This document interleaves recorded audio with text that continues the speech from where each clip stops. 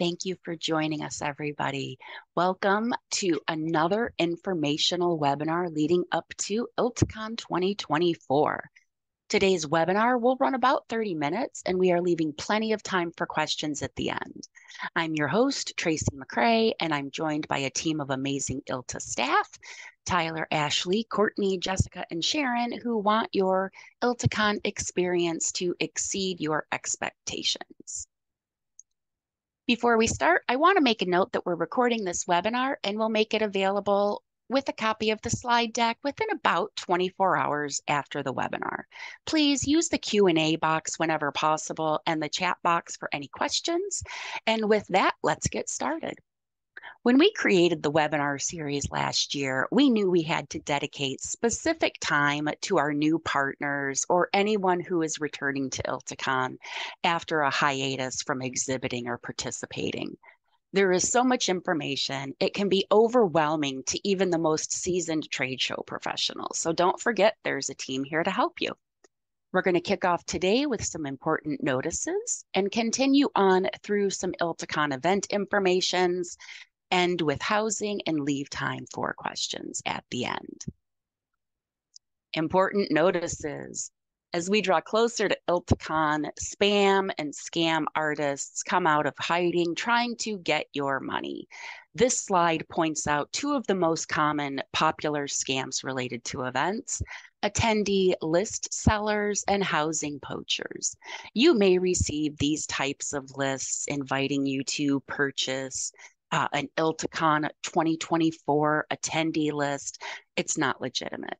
Or inviting you to uh, book in the housing block with options at the Holiday Inn Express or the Courtyard Marriott. These do not come from us. Please don't respond to these. Uh, send them to us if you want to vet it for legitimacy. Um, but just know uh, these we don't sell our list, um, and these type of solicitations for housing also won't be coming from us. One piece of uh, uh, one tool that we use to try and get you information about uh, any kind of scams or about ILTACON preparation in general is uh, the portal. So the ILTACON portal that you're seeing on your screen right now um, is going to be your one-stop shop. And you see that we've already got a note up there about beware of the scams and solicitations, as well as a few reminders um, and things that you may not necessarily uh, notice right off of the bat. You you see the checklists for success, which I'm going to cover in a minute. Under that, you see a menu bar that has badges, and badges is the first one that you see. There's also booth services, forms, future dates, housing, and some resources. And we're going to add more information to these as we receive the information.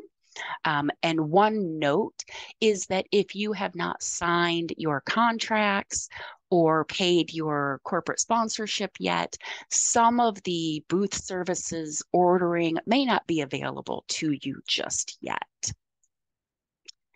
Moving into planning for ILTACON, it's generally divided into three major phases. There's before, there's during, and there's after. ILTACON doesn't end when you leave ILTACON. You still have to do follow up. So before ILTACON, there is a lot of education. There are a lot of deadlines to be aware of. We're going to give you some checklists to help you keep you to help keep you on track um, and make sure that you don't leave anything undone. For ILTACON, we highly recommend that you have copies of all of your shipping information. I can't tell you the number of times I've had somebody want me to help them track down their shipping information, but they don't even know what carrier, UPS or FedEx or DHL, they don't know what carrier it was on, let alone the tracking information. Um, if you are not going to be at ILTACON, make sure that your booth staff has all of the information uh, printed as well as available in an electronic copy so that they can uh, get help that will be able to help them in a quick and efficient manner. After ILTACon, I can assure you our attendees do want to hear from you. So make sure that you are following up with your leads in an authentic way uh, that reminds them of why they stopped by your booth in the first place. They want to hear your targeted messaging. I mentioned checklist for success. This is a new one for us this year. Uh, due to popular demand and the our recognition that there is a lot leading up to ILTACon. We want to keep you on track. We've been working on these checklists um, with links. These are available in the portal. They are also available on our ILTACon website and I can talk about that in a minute as well. But they're they're monthly breakdowns of kind of what you should be focusing on when uh, to keep you in uh, tracking with where you should be um, as far as your milestones towards ILTACon. So in January and February, this is past, of course, uh, you're trying to narrow down your exact goals. Why is attending ILTACon important for you? You're gathering up the demographic data to target your messaging. Um, March is a big one with things that we just went through uh, with uh, the corporate sponsorship renewals, as well as the booth lottery, and of course, uh, the um, speaker applications. I could never let an ILTACon informational webinar pass without reminding you that speaker applications are open. So if you have a thought leader in your organization who would like to be in the ILTACon program as a speaker, please encourage them to submit their application sooner as opposed to later. Um, as you see on that note, 25% uh, of the applications are received in the final 72 hours. So stand out by applying early. A few more things that you should be thinking about in April as you move towards ILTACon planning. You're going to want to begin to think about your staffing and your travel. Um, we are going to be opening housing and badging next week. So, this uh, checklist is going to keep you on track um, with your travel as well. And of course, the note about April 22nd being the last day to submit your application to speak at ILTACon a preview into May with a lot of links, and these are mostly in the GES portal. GES is ILTA's general services contractor who will be building the booths and providing services like um, the carpet, ordering, or um, other types of things that you may need in your booth. And they have just a wealth of resources about how to navigate their online ordering platform, which does include a chat feature. If you wind up needing some help with your order, they can help with that. Um, and so the this uh, checklist is just going to guide you through uh, a lot of those types of questions that you may be having with some legitimate source information uh, from our general services contractor. I'm going to talk through just a couple of important dates. Booth selection calls are running right now. And if you have not had your booth selection call, it should not be too far behind. Um, and if you think you should have had it by now, just reach out to your uh, business partner contact and they'll be able to help you with that. Uh, see the note again, speaker applications close. I cannot encourage you uh, enough, obviously, to get those in. Um, and then just a reminder that deadlines are closer than they appear. They are going to sneak up on you. Um, and so we will use a few ways to communicate uh, the deadlines to you. One of them is the business partner calendar. Um, the business partner calendar covers all business partner activity um, or all ILTA activity that may be of interest to ILTA's corporate sponsors, not just ILTACon. Um, and so make sure that you you have this calendar bookmarked as well. It's on this page. Um, and I will get that dropped into the chat. Um, but it's on this page. If you scroll towards the bottom, you'll see the calendar, um, and you can move forward and back to find any other things that might be of interest to you. Another note about the portal, I just want to show you the portal one more time. You see there is a panel about important dates. We're going to keep you on track. And so the portal is an important location for you to bookmark and to begin to familiarize yourself with. Of course, the only way that you're going to get this type of information, such as the links to the portal, your business partner contact, all of that is by making sure that your company's information is up to date. Uh, we have two links and um, we will make sure that those get dropped in the chat. I'm not sure if I have those bookmarked. If a member of our team could help with that, I would appreciate that. Um, but we have two links for you. One is just your general company information and make sure that we have that information up to date, the company description, what categories uh, your company falls under, as well as your social media handles. The other one is a more specific form related to who should we direct email to. If it's related to billing, we have a billing contact. If it's related to um, your ILTACON participation, you can designate an ILTACON uh, contact for that. Now I just want to talk briefly about some of the informational webinars. Of course, this is one. Um, they are set up to help you be successful with ILTACON. Um, if you haven't watched all of them yet, uh, we do post them on this page and uh, encourage you to watch them with your team. If you host a watch party with your team and take a picture of it and post it on social with the hashtag We Are ILTACON, we will enter you into a drawing to win a dinner at Old Hickory with our CEO. Excuse me. On to event information. This property is probably one of the largest under one roof. If you were interested in ILTACON last year at uh, the Walt Disney World Swan and Dolphin and Disney's Yacht and Beach down in Orlando, Florida, that covered a lot of square footage, um, but some of it was outside. This is all under one roof. So you see down in the lower left-hand corner of my screen, a red star that shows you where you are going to enter the hotel at Cascades registration just remember that. Cascades registration uh, is where you will enter into hotel registration and do the guest room check.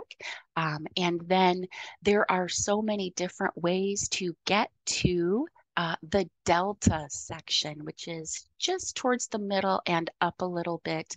Uh, the Delta lobby is where we're going to be having um, registration. That's the Delta BCD lobby, not the Delta A lobby, which is a different lobby but it is a vast property. We know this. We are going to have ample signage as well as people um, at some key locations to help make sure that nobody gets lost and that everybody gets where they need to go. This is just a different perspective of that uh, Delta section up in that convention space. And you see it's three levels. Convention center, um, or I'm sorry, the exhibit hall is on the bottom level in that uh, blue color, um, those vibrant fuchsia pink colors in the middle section. Those are the ILTACON education rooms.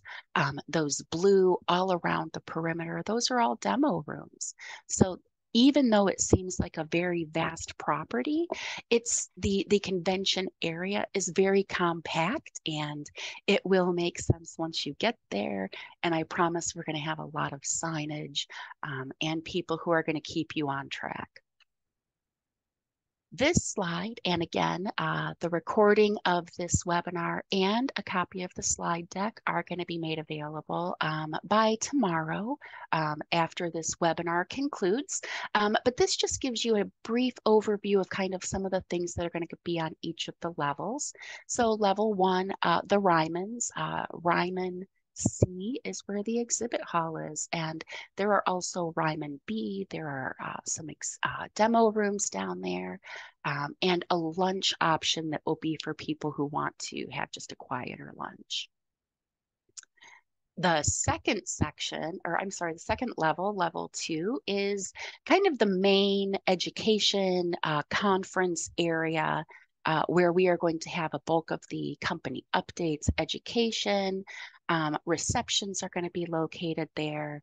Um, and then you see there are also um, the Tennessee area and a few mezzanines where different uh, demo rooms will be located as well. So again, it's a vast property. We're going to have a lot of maps and ways to make sure that you get your way around. So with that, I am going to turn it over to my colleague, Jessica, who is going to walk us through some of the items that we have as they relate to uh, space requests or housing. Jessica, take it away. Thank you, Tracy. Welcome, everybody. Um, we are so excited to get started um, with ILTACON planning and so um, pumped for you to be joining us. So, a couple of big uh, items I know for um, your uh, checklists are number one, getting any space requests in for special events that you want to host in conjunction with ILTACON. So, this might be a private dinner in one of the outlets, it might be a meeting in some of the meeting space. Um, whatever you're looking to host, um, we want to make sure that we find a place for you within the property um, however, it's important to note that the property will not um, be working with anybody until we make that introduction. Um, we do have a buyout of the hotel, so we want to um, make sure that we're able to connect you with them and get you a point of contact to get all of your planning done. So, for requesting the meeting space, we do have a special link that will be sent to you with your um, phone calls that are t- handled by your business partner representative. Um, this is a special form where you can give us some details on the event you're looking to host, um, as far as you know how many people, desired location, date, time, all of that good stuff. Uh, please note that I have here listed um, several days and times where we are not allowing any special events to be um, hosted. Um, these are some of during some of our main keynotes, and then also some major events that um, ILTA is hosting, and we just don't want any um, conflicts with that. In the slide deck, you will see that video um, hyperlink where you can see some of the spaces that are available, specifically the outlets, um, and also a link to some pricing options for buyouts, menus, etc. Note that there are several outlets for you to take a look at. There's the American Craft Tavern, Finley's, Fuse, Jack Daniels, Old Hickory, Ravello, and Solario Cantina. Um, please note that the Cascades and the Falls Bar and Lounge will not be available for buyouts. We do need to keep those um, specific outlets available to attendees that aren't going to any special parties. Um, we have other convention center spaces as well that are available. So we have um, and the Crystal Gazebo, the Lion's Head Fountain, which is beautiful. Um, we have at the Delta Landing, the Delta Pavilion on the Delta's water edge. Sound Waves, which is a fantastic water park, would make for a really, really cool event. Um, we've got some ballroom space held aside for um, these events and some pre-function space as well. Um, again, there's that video, the hyperlink to the video, um, and then the link for the pricing information. If you have any questions about reserving that space, please reach out to your business partner contact. Um, they will get you in touch with our events team. And again, we can talk through your event and then get you in touch with the hotel so you can work directly with them um, and make sure everything goes smoothly. Um, another key item for you to check off your bucket list is housing. So we will be opening housing on April 16th. That will close on July 11th. Um, in order to book housing, you must have registered and paid for your registrations. So that means if you are sending 10 people or five people with your company, you will need to assign those um, benefits um, and then have them each complete their registration um, because you will get the link to book your housing in your registration confirmation email. So, that link and a special code in order to access the housing platform will be sent with that registration confirmation once that's all set, and done. Um, additionally, if you're sending multiple people and want to put together a sub block uh, or a small block of rooms for 10 or more, you can submit a sub block request form. So that is hyperlinked for you there. That will come to our events department. Um, and we can uh, look at getting a small block of rooms set aside for you. We'll have a two to three week deadline. Um, that'll be determined based on when your form is submitted. Um, and we can either set up a link where you can share that with your team and they can book those rooms directly, or we can have you submit a rooming list um, and we can, again, take care of any master billing if you're going to have everybody be paid for on your corporate card or whatever. So um, if you have blocks or any, you know, special questions related to a small housing block, feel free to submit one of those request forms. And again, our housing um, and events team will get with you and make sure that you're taken care of. We'll get you a point of contact at the hotel, make sure you have credit card authorization forms, all of that good stuff. Um, a couple of notes. Oh, sorry, not quite yet, Tracy. Um, upgrades, suites are not available for purchase um, through the housing platform. So if you're interested in reserving a suite um, for your company, that will need to be done through your business partner contact. Um, just wanted to make note of that. And then also some key billing notes. Uh, please note that for every reservation made, there is a non refundable one night room and tax deposit collected at the time of booking on the card used to make the reservation. So it's really important that we are not booking rooms um, unless you're sure that you're going to use them. Um, because again, that deposit is non-refundable. If you're in a situation where you know you want to pay that deposit on a corporate card, just reach out to us ahead of time. We'll get a credit card authorization form and do a small sub block for you um, to make sure people's personal cards aren't being charged for that deposit um, and again, if you have any questions um, related to billing or setting up a block, feel free to reach out to us at housing at iltanet.org, um, or you can reach out to your business partner representative and they'll get you in touch with myself. Um, some basic housing information. The room rate uh, for a standard room is 249 plus tax and resort fee. So that does total 313.81 per night. There are limited atrium views available. Um, those are 289 plus tax and resort fee, or a total of 360.31. Um, the resort fee, we do have that discounted, pretty heavily discounted. Um, with taxes, it's 21.85 per night. Um, and it does have some great offerings. So we've got the sunrise yoga, um, the complex shuttle to and from the Opryland and Opry Mills Mall. Um, We've got daily golf range access for two guests to include a bucket of balls, um, Wi Fi access, uh, local and long distance calls if anybody's still using a hotel phone, um, bottled waters, fitness center, and then you do have a daily credit of up to $10 per dry cleaning, um, which is fantastic. Uh, final note here just again, remember the non refundable deposit of one night room and tax will be required um, at booking for all reservations. Um, I know Tracy mentioned this at the beginning of our call, but please, please, please be aware of housing scammers. We've received several notes of um, housing poachers reaching out to people saying, Hey, we're the official housing bureau for ILTACON, book here. That is absolutely not the case. Um, we are managing all of that housing directly through us in the Gaylord directly. There are no third parties involved in the housing process for on this year. So if you receive that, please do not book. Um, there is no way for us to guarantee that those reservations are going through. Um, and I've unfortunately encountered uh, people who have lost some significant money um, booking through those poachers. So make sure to reach out to us um, and we look forward to serving your needs. Thanks, Jessica. Appreciate it. Um, one more note that we're going to begin socializing just about the Gaylord property, uh, the Gaylord Opryland, um, is that they're cashless now. And so they do have a few machines um, that convert your cash into a card with no fee that you can use. Um, but we will begin to also socialize in addition to non-refundable deposit when you make your reservations um, that the property is cashless, although tips, of course, uh, for housekeeping or um, food and beverage can still be made in cash with that, that brings us to the end of our prepared content. Um, and so while I leave this slide up on the screen, um, just a reminder, if you have questions, I'm going to see if there are any questions um, in the chat or in the Q&A at all that we would need to answer or um, any last reminders I may have forgotten that the team would like to bring up before we end.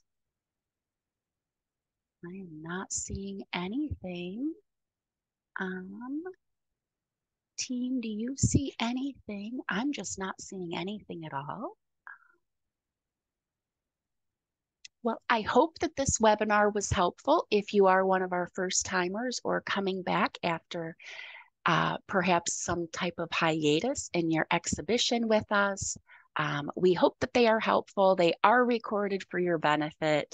Uh, watch with your staff, post a picture with the hashtag we are ILTACON, get entered into a drawing to have dinner at Old Hickory um, with our CEO, Joy Heath Rush, as well as some key uh, ILTA volunteers. And with that, we will close today's webinar and wish you all a great rest of your day. Thank you, everybody. Bye bye.